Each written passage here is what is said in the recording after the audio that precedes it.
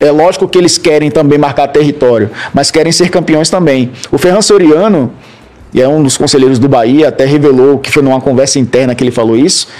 o Ferran Soriano disse que quer que o Bahia seja odiado dentro do futebol brasileiro. Odiado no sentido de os caras sentirem raiva de enfrentar o Bahia. Porque ele é um novo player no mercado, um velho novo, aparecendo para ser protagonista.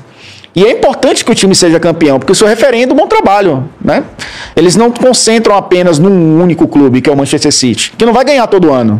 Não ganhou a Champions League na temporada passada. Sim é, bem empilhando o Premier League, mas a gente sabia que também o objetivo, assim como o Texas quer ser campeão da Libertadores, o objetivo era ser campeão da Champions. Conseguiram, mas querem se tornar ali, tá no hall do Milan, do Real Madrid, do próprio Manchester United, do Liverpool, né, que tem mais títulos. Eles não vão ganhar todo ano, mas eles sabem que é, é importante referendar trabalhos ao, ao redor do mundo vencedores. E o Bahia está no mercado muito, muito forte, né, que é o mercado do futebol brasileiro, de Libertadores também, que é um, uma competição muito forte.